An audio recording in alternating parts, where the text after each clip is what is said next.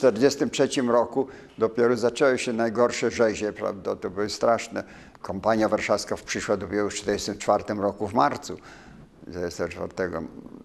To już my, my, cała właściwie zadaniem 27 przez długi czas to była y, ochrona ludności cywilnej znajdującej się Polski, która na tamtych terenach to były samoobrony, przecież duże miejscowości broniły się przed Ukraińcami. To były straszne czasy. No, ja osobiście byłem już w Kowlu wtedy, w konspiracji. Szczęście, jak to mówię, wszędzie dopisywało, bo to tylko na tym szczęściu wojennym można oprzeć się, przeżyć, bo inaczej to już człowiek by był sto razy y, przez Ukraińców zamordowany. No ale jakoś szczęśliwie zawsze, jak oni wyjeżdżali, to ja przyjeżdżałem. Jak ja przyjeżdżałem, to oni odjeżdżali przedtem. I nigdy nie miałem naprawdę y, możliwości spotkania się z Ukraińcami na drodze, jeżdżąc tak po, po terenie, jako przebrany jako ten chłop y, tamtejszy, wozem z jednym koniem przecież jeździłem. Nigdy nie, nie przeżyłem tak spotkania z nimi. Zawsze jakoś omijało mnie to. Ale słyszało się o tych straszliwych mordach całych wsi. Nawet małżeństwa mieszane przecież zostały mordowywane. To straszne czasy to były. I ci miejscowi nie mogą sobie, no, no nie mogą darować, nie mogą zrozumieć, że w tej chwili no, sytuacja polityczna wymaga tego, żeby z Ukrainą jakoś współżyć żeby te rzeczy już jakoś nie zapomnieć, ale no, nie ciągle rozjączać i wyciągać to przy jakichś różnych okazjach. Prawda? Ale są nieprzejednani. Ja mam kolegów przecież, to mówią, mnie wymordowali ojca, matkę, prawda, siostrę. No jak ja mogę wybaczyć, prawda? No, widocznie są bardzo skomplikowane, trudne sprawy. Sam nie jestem, prawda, wołyniakiem, bo z Warszawy byłem wysłany tam, na tamte tereny i tylko walczyłem z Ukraińcami, prawda, ale doskonale rozumiem tych miejscowych, którzy tam mieszkali, sąsiad Ukrainiec.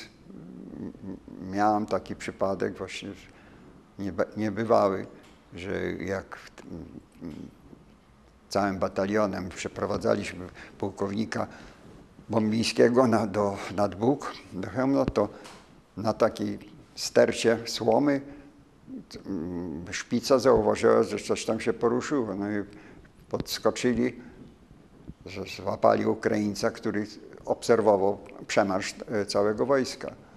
No jak przyszedł, to przeprowadzili go do e, kompanii, to żołnierz jeden z kompanii wyszedł i mówi, panie poruczniku, to jest ten Ukraińca zamordował ojca, matkę i siostrę moją. No, takie były niesamowite spotkania. To jest nie do, nie, nie, nie do wyobrażenia sobie. Myśmy byli w konspiracji cały czas. Ja pracowałem w wywiadzie u Radosława. Radosław mnie y, wysłał do Łowicza. Ja pracowałem w Łowiczu. Wszyscy byliśmy pod, na fałszywych papierach, jak to się mówi wtedy. Jeszcze zawsze była konspiracja, wie pan. No, szczęście, wszędzie szczęście, proszę pana. Tak, to są bardzo trudne sprawy. Miałem trzy lata, kiedy Rys Śmigły z, z wojskiem zdobył Kijów, no i dzięki temu żyjemy. Cała nasza rodzina z wojskiem wyjechaliśmy z rannymi w 20 roku. Gdyby wojska polskie nie zdobyły Kijowa, to prawdopodobnie losy były nasze zupełnie inaczej się potoczyły, prawda? Miałem te trzy latka. Trudno jest zrozumieć. Naprawdę, czasami jak szliśmy do natarcia przez całą ławą, karabiny maszynowe sieko po nas, mo- moździerze, artyleria, koledzy naokoło padają. A człowiek tam, tam lekko ranny zostaje najwyżej albo i przeżywa.